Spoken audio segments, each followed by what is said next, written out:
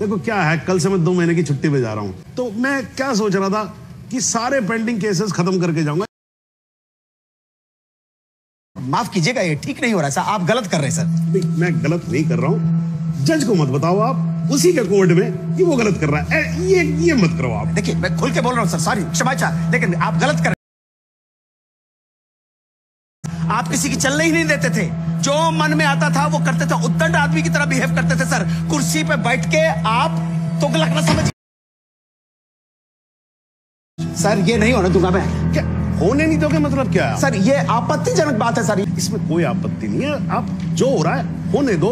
मैं बैठा हूँ मैं कर रहा हूँ ना सब। मुझे गलत मत साबित करो।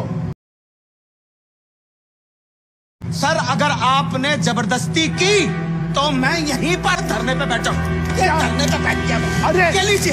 अरे!